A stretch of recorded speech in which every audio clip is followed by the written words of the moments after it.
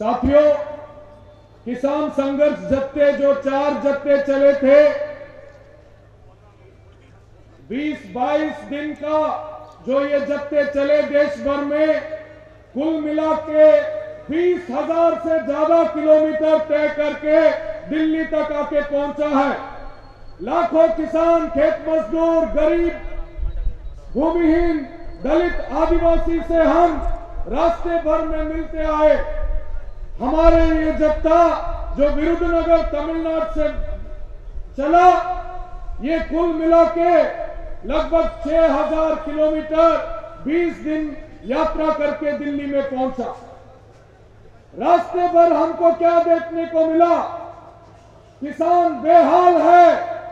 इस दो ढाई साल का मोदी सरकार के समय में किसान बहुत दुखी है। एक अभूतपूर्व कृषि संकट देश में है। साथियों, पिछले 25 साल का आर्थिक उदारीकरण के नीतियाँ जो बदल बदल के आने वाले कांग्रेस और भाजपा सरकार लागू किए, इस 25 साल में जो कृषि संकट देश में हुआ, कुल मिला के चार लाख से अधिक किसान खुदकुशी करने में मजबूर हुए।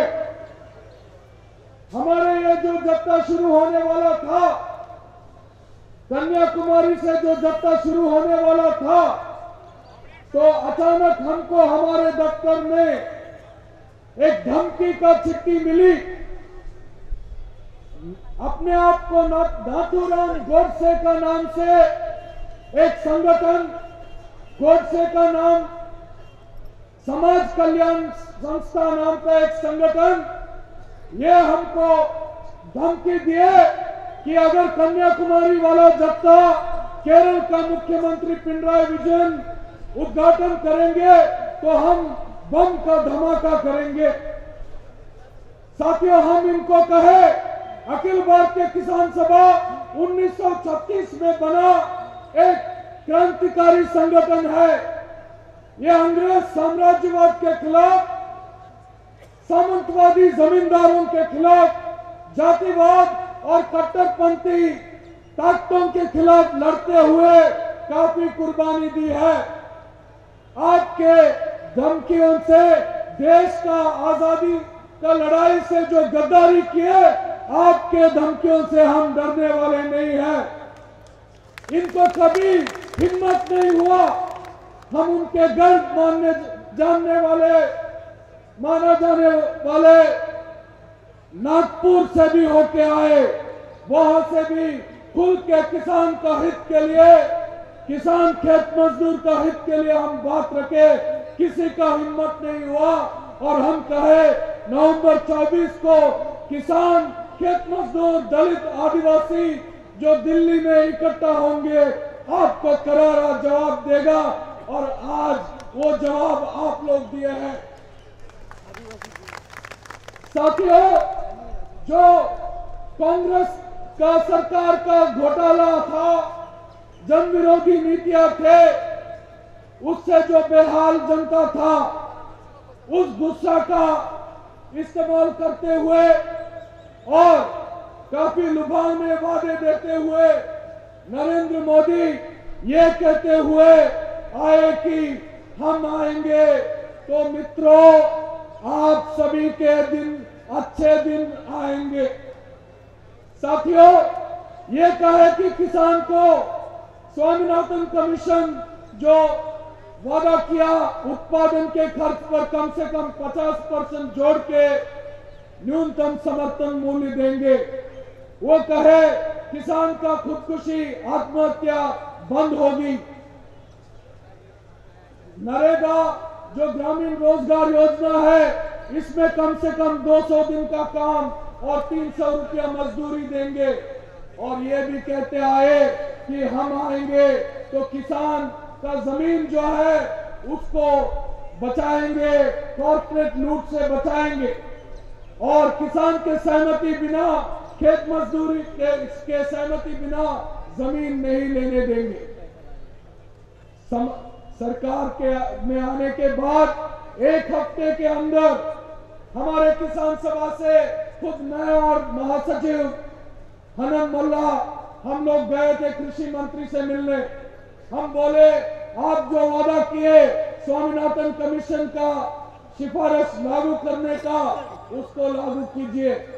वो कहे कि ये चुनाव के समय में हम लोग काफ़ी कुछ बोलते हैं। इसको आप गंभीर रूप से मत लीजिए, ये नहीं लागू कर सकते। और कुछ ही दिन बाद भाजपा का अध्यक्ष अमित शाह कहे, वो सब सिर्फ़ चुनावी जुमले थे।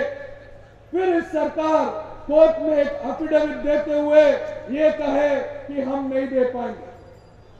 पर कुछ सरकार है, केरल में वामपंथी सरकार है, जो धान खरीदती है तो कम से कम चार, पाँच सौ रुपया अधिक बोनस किसानों को उत्पादन के लिए बोनस देते हुए खरीदती है। तो ये सरकार क्या करती है? किसान विरोधी सरकार, ये सरकारी दस्तावेज़ निकालते हैं कि आप अगर न्यूनतम समर्थन मूल्य जो केंद्र द्वारा निर्णय किया है, उससे ज़्यादा देंगे तो हम आपसे खरीद नहीं करेंगे। ये कुत्ता और घास का कहानी आप लोग सुने होंगे।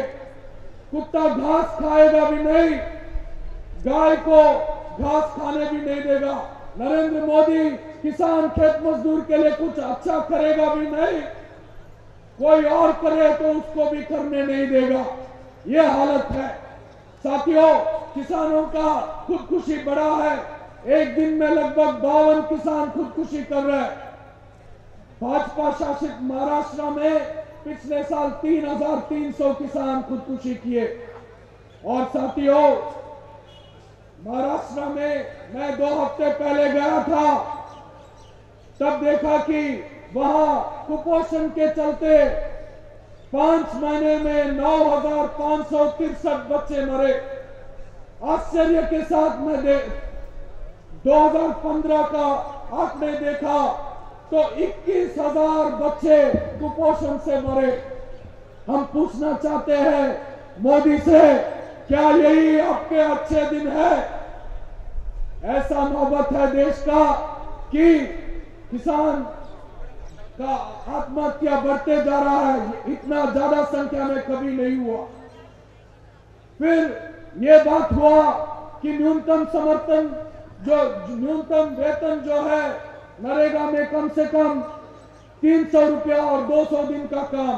रास्ते भर में किसान खेत मजदूर हमको बोल, बोले कि दिन, एक साल में चौंतीस दिन भी काम नहीं मिला। छह महीने, एक साल पहले काम किया, अभी तक मजदूरी नहीं मिला। दो सौ रुपया तमिलनाडु में न्यूनतम मजदूरी है, नब्बे रुपया भी किसान को नहीं मिला। और पूरा रास्ता हम देखे कि सूखा ग्रस्त इलाका में फ़सल पूरा नष्ट है। ना फ़सल बीमा का पैसा, ना कोई मुआवजा इस सरकार दी है।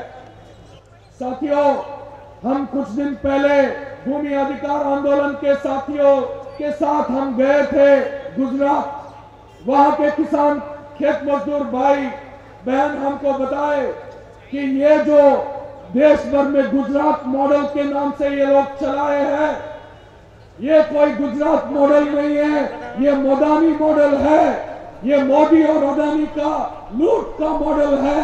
ये आपका जल, जंगल, ज़मीन और खनिज संपत्ति का लूट का मॉडल है। वही लूट का मॉडल आज यहाँ चल रहा है। वो कहे थे, ज़मीन नहीं छीना जाएगा। सरकार में आके छह महीने के अंदर वो एक अध्यादेश ले आए जिसके अनुसार ज़मीन लेने के लिए किसान का सहमति का ज़रूरत नहीं था। क्या करे एक छोटा हस्ताक्षर लगाने के लिए आपका पॉकेट में जो कलम है वो चाहिए तो हम ज़बरदस्ती नहीं छीन सकते।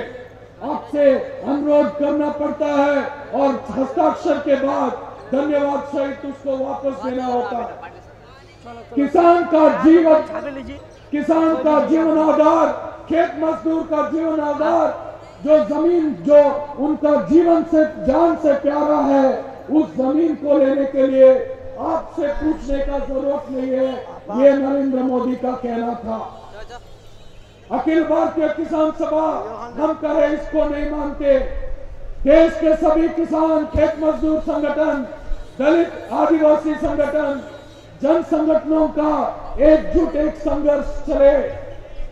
भूमि अधिकार आंदोलन नाम का एकजुटता बनाए हम और देश भर में हज़ारों किसानों का आंदोलन चला। हम देखे कि 300 से अधिक जिलाओं में ये जो काला कानून था उसको जलाया गया और इस सरकार डर के मारे उस कानून, काला कानून को वापस लेना पड़ा। इस एकता को और व्यापक करने का ज़रूरत है।